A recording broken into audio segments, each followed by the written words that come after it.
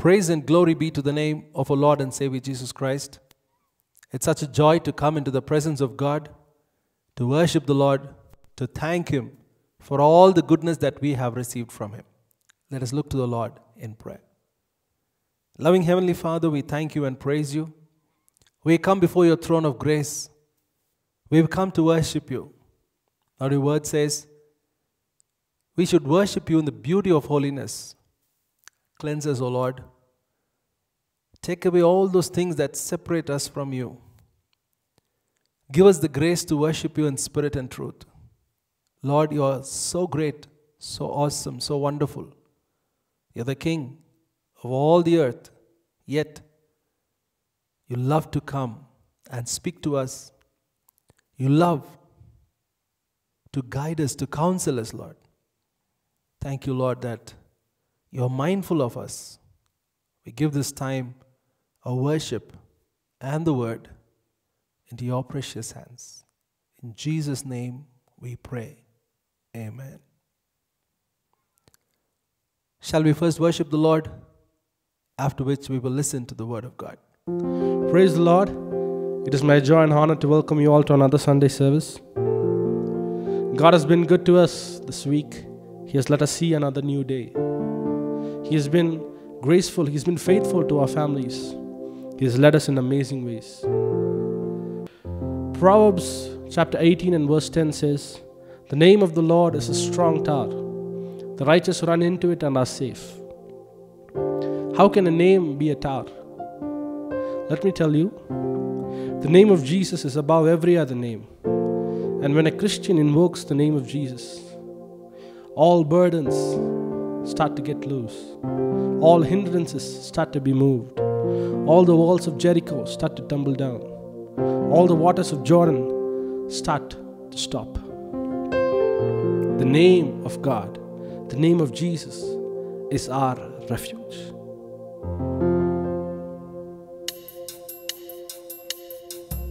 The name of the Lord is a strong and mighty tower. The name of the Lord is a refuge for my soul. The name of the Lord is a pillar I can lean on. The righteous run into the name of the Lord. The righteous run into the name of the Lord. The name of the Lord is a strong and mighty tower. The name of the Lord is a refuge for my soul. The name of the Lord is a pillar I can lean on.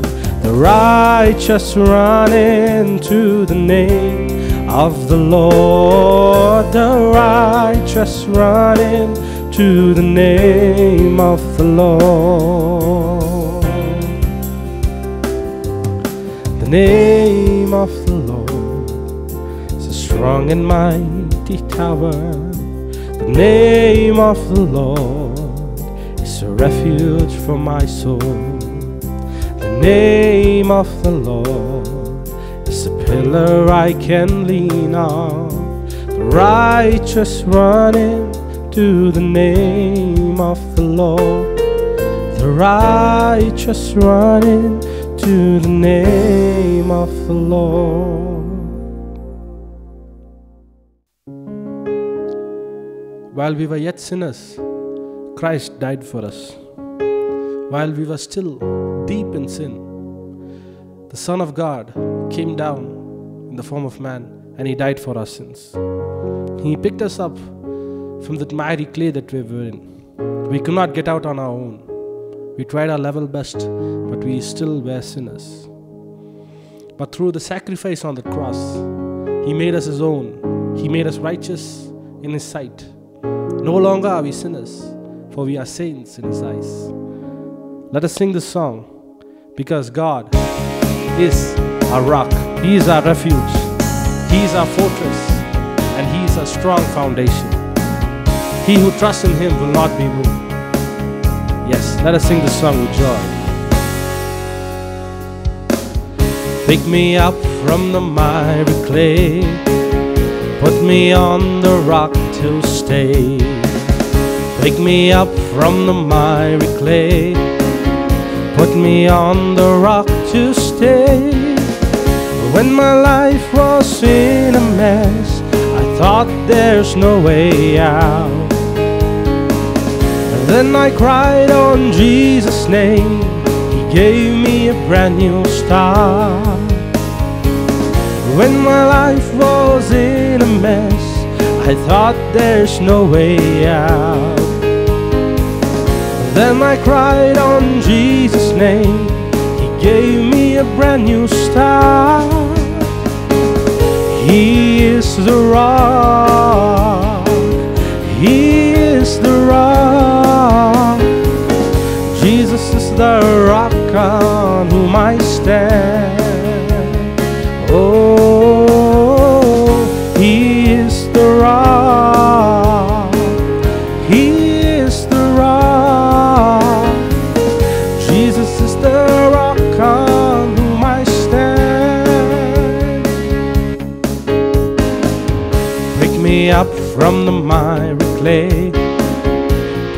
On the rock to stay. Pick me up from the miry clay. Put me on the rock to stay. When my life was in a mess, I thought there's no way out. Then I cried out Jesus' name. He gave me a brand new start. When my life was in mess, I thought there's no way out. Then I cried out Jesus' name, and He gave me a brand new start. He is the rock.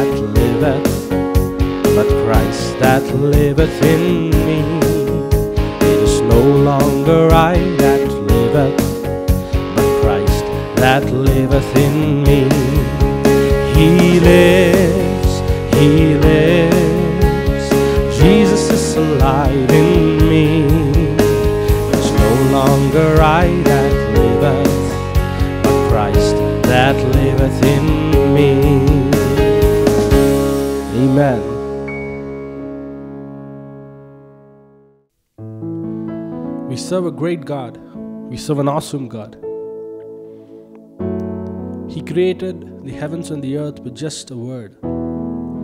He created me and you with just a word. He gave us His living breath and He made us His sons and daughters.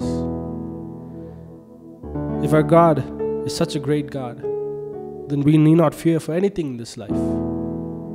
Because such a God, such a great and awesome God, rushes to our aid when we call upon His name. We serve a great God, but we also serve a very loving and affectionate Father. He is there for us.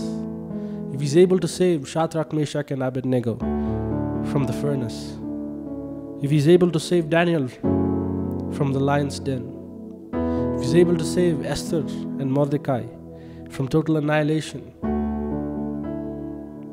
then He's able to save you and me. Because if there's one thing I know, my God is alive, my God still moves, and my God still does great and awesome things in this world. So sing with me, How Great is My God. the splendor of a king, clothed in majesty. Let all the earth rejoice, let all the earth rejoice.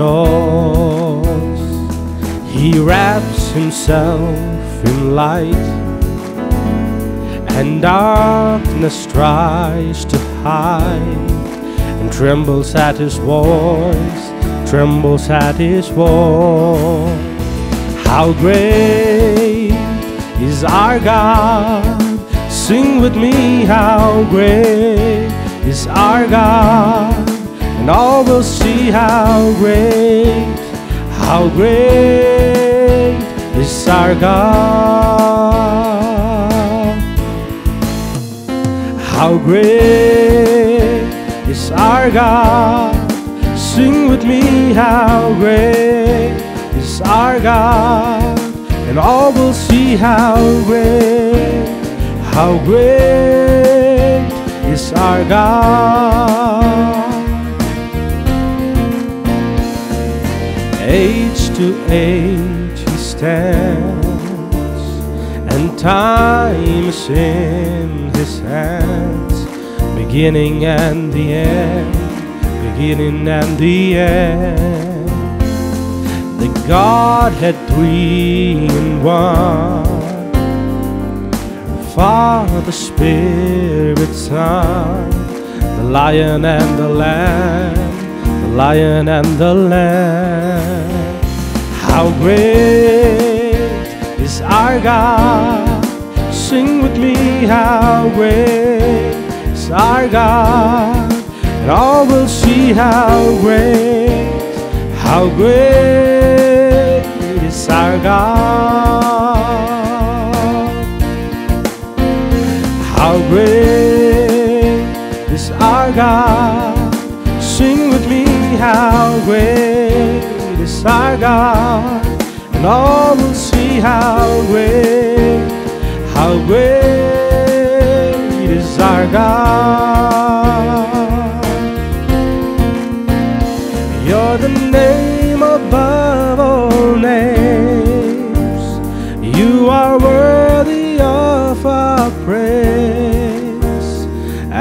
my heart will sing how great is our God.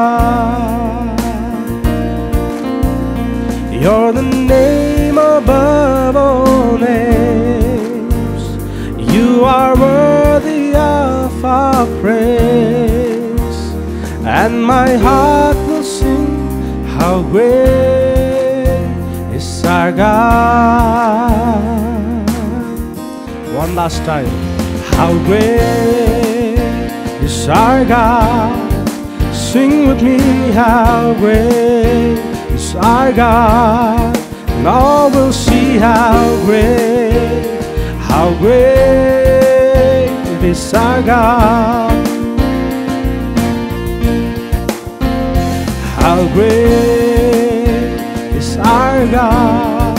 Sing with me, how great is our God. And all will see how great, how great is our God. How great is our God. Amen. Amen.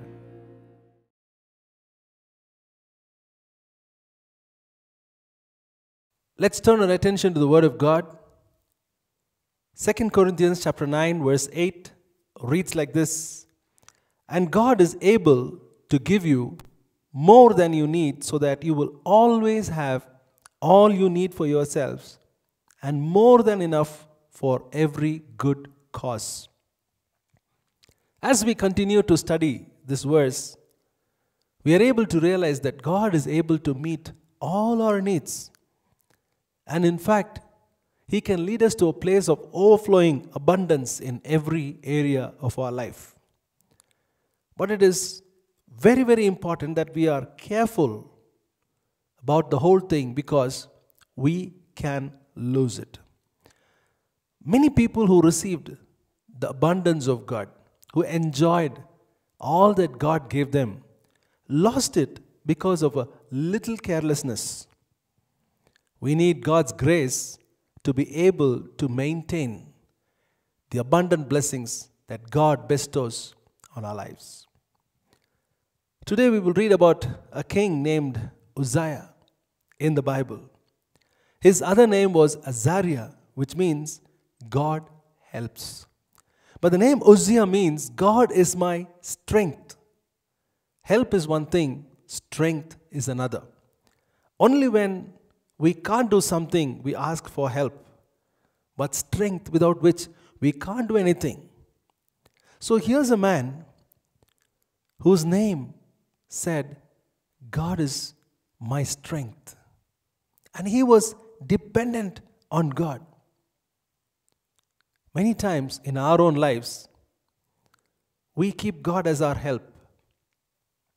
We go to Him only when we are not able to do things by ourselves. But God should be our strength, which means that without Him, we will not do anything. Now, Second Chronicles chapter 26, verse 1, we read like this All the people of Judah chose Amaziah's 16 year old son Uzziah to succeed his father as king. At 16 years of age, Uzziah becomes an heir to the throne in place of his father. Second Chronicles 26 8 says like this The Ammonites paid tribute to Uzziah, and he became so powerful that his fame spread even to Egypt. Now, here's a man who has God as his strength. And because of that, God blessed him in everything. Everything was in abundance. Many times we sing about it, but in reality, we have so many other things as strengths. Let us look at a few questions. The first is Who or what is my strength? Some people, money is their strength. For some people, they have contacts. For some people, they say their identity. You know, most often their profession is reflected by stickers on their vehicles. But is that a true strength? David, the great warrior, the man who overcame Goliath, he says like this Psalms 27, verse 1 The Lord is my light and my salvation. Whom shall I fear? The Lord is the strength of my life. Of whom will I be afraid? David was a man who went through so much in life. He was a talented man in so many ways. He was a warrior.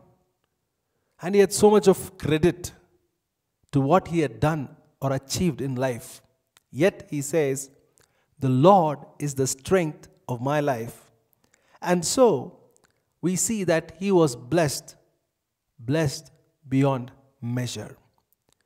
Now, this man, Uzziah, he had another very important characteristic. God was his strength, so God blessed him. And the second thing we read about him is that Second Chronicles chapter 26 verse 4, following the example of his father, he did what was pleasing to the Lord. Now we need to check ourselves. Are we doing things that please the Lord or do we choose to do things that pleases us? Now, several times, you know, certain habits, certain friendship, certain things that we do, we know it does not please God, but we continue to do that because it pleases us. Now we need to really check and see what are those things that pleases God and we need to do it and do it alone. Now Uzziah, this king, the first thing is he had God as his strength. And the second thing is this man knew how to please God. He followed his father who pleased God in everything. And the third thing about Uzziah is that he had a very good counselor. Second Chronicles 26 verse 5 we read like this Uzziah kept on seeking God during the lifetime of Zechariah who taught him how to fear God. And as long as he sought the Lord, God made him prosperous. Now this is amazing, amazing. Now this man had someone who was wise as his counselor. And as a result of which, Uzziah always took the right decisions. Now, it is very, very important that we have someone like that in our life. Now, there are a lot of young people with a lot of talent, with a lot of expectation to do great things. But you know, they lack mentors. Mentors or counselors are two different people, but then we need at least one of them in our lives so that they can help us to actually fulfill the purpose of God in our lives. Now, I want to give you two examples. One, the benefit of having a good counselor. Two, the trouble with having a wrong counselor. Naaman was a Syrian army officer who was suffering from leprosy. He went to the prophet Elisha seeking healing. Now, this man of God was truly a man of God. When Naaman came to his house, he refused to even come out and see him. Instead, he said, Ask him to go to Jordan and dip himself seven times in the river. Now, Naaman was so angry at the words he heard, and he almost decided, now let's get back. There's no point.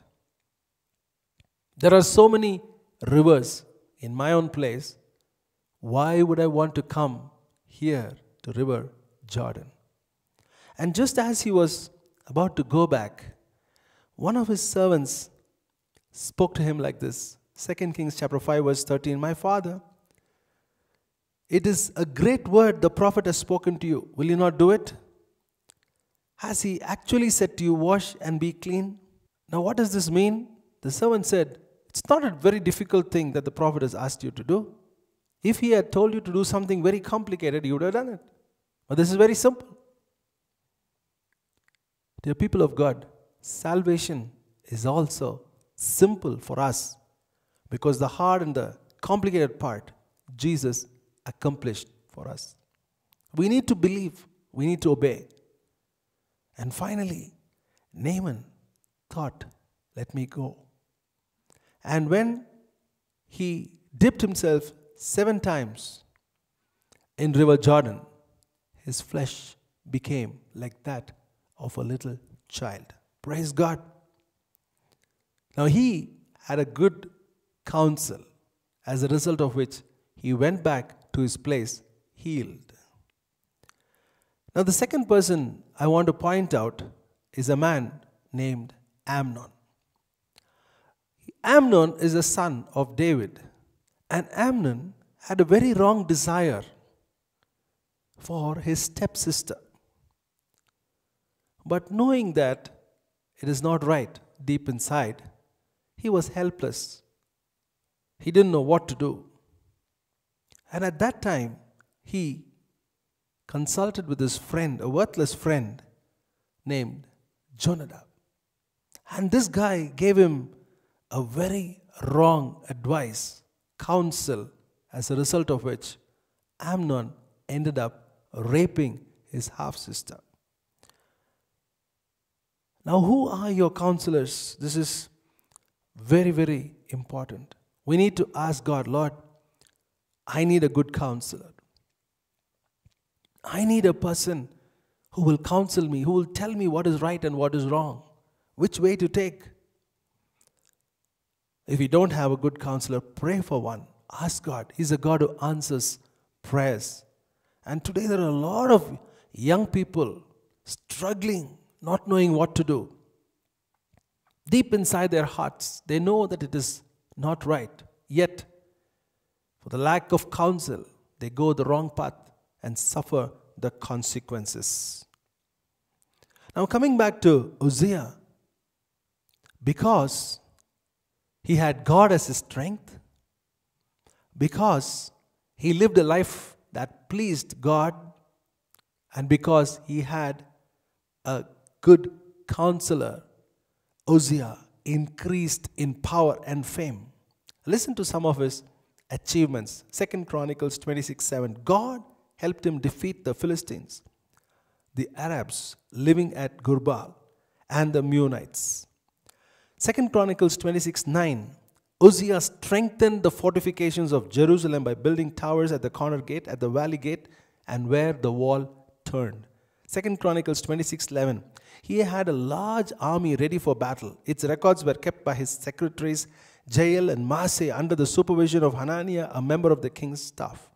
Second Chronicles 26:15 In Jerusalem his inventors made equipment for shooting arrows and for throwing large stones from the towers and corners of the city wall. His fame spread everywhere and he became very powerful because of the help he received from God. Now, these are wonderful achievements for a very young man. He had such a vast army and look at the automation that he has done those days. So Uzziah's fame spread far and wide, and he reigned as a king for 52 long years. Now, literally, Uzziah was enjoying the abundance. He was enjoying the abundance because he had God as his strength and he lived a life that pleased God and he had a wonderful counselor to guide him in every aspect of his life. But over the years, as he became more and more famous and more and more strong, Listen to what happened to his life. Second Chronicles chapter 26 verse 16. And when he had become powerful, he also became proud, which led to his downfall. He sinned against the Lord his God by entering the sanctuary of the Lord's temple and personally burning incense on the incense altar. Now, this man who always wanted to please God, here he arrogantly enters the temple and he is burning incense in the incense altar, which is supposed to be done only by the priests and not by the king. Now, look at how pride came into this man. And when pride comes in, along with pride comes destruction. Now, this is one particular character that we all need to be watching out for.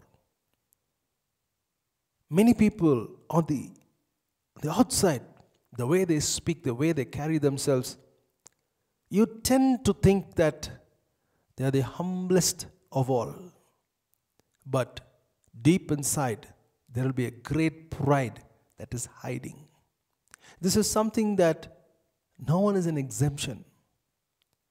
We need to constantly check ourselves if we have let pride rule our lives. Now, Uzziah, he did not take pride in his equipment, in his army, in the way he did Jerusalem fortified, and all that stuff. But his pride was revealed in the fact that he entered the temple of God and he chose to do things that he was not supposed to do. Now, when he did that, God's anger burned against Uzziah. Now, pride, we should look at the origin of it. Lucifer was the first who exhibited pride, as a result of which he was thrown down from heaven. Many people think that God is not mindful of all these things. God is with me. But you need to check if there's pride in your life.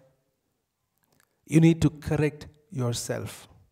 Now, Second Chronicles chapter 26, verses 18 and 19, we read like this. They said, Uzziah, you have no right to burn incense to the Lord. Only the priests who are descended from Aaron have been consecrated to do this. Leave this holy place. You have offended the Lord God, and you no longer have his blessing. Uzziah was standing there in the temple beside the incense altar and was holding an incense burner. He became angry with the priests. Now, here, when his fault is pointed out, even then, Uzziah is not prepared to accept it. Now, if someone points out a fault in our life, are we willing to accept it and change it? Uzziah, instead of humbling himself and saying, I made a mistake, he was angry. He was wild with the priests. But look at what happened. Verse 19 Uzziah was standing there in the temple beside the incense altar and was holding an incense burner. He became angry with the priests, and immediately a dreaded skin disease broke out on his forehead. Now he's stuck with leprosy. And a leprous person cannot enter the temple. Not only the temple, he cannot be with the common people. He has to be isolated, out of the camp.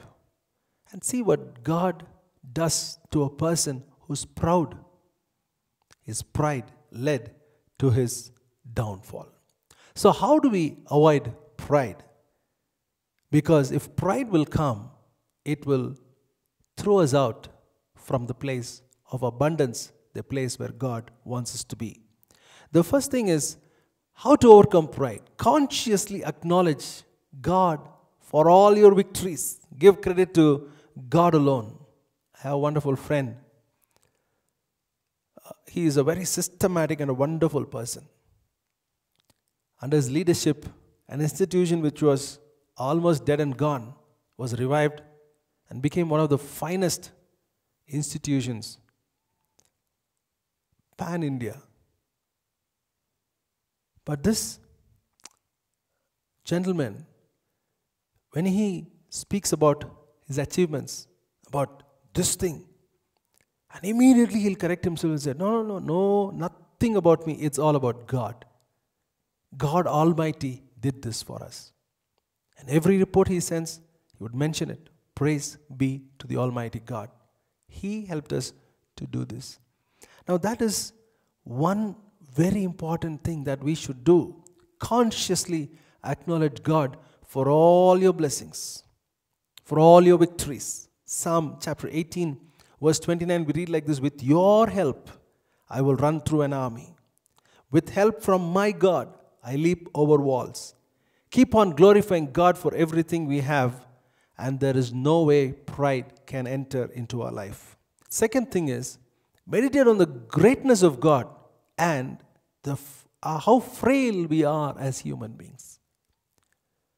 Sometimes we are so focused on our own life that we think are, that we are heroes. But when we look at the expanse, the universe, the sky, the stars, the mountains, the valleys, the seas, we can understand we are nothing but a speck in this world.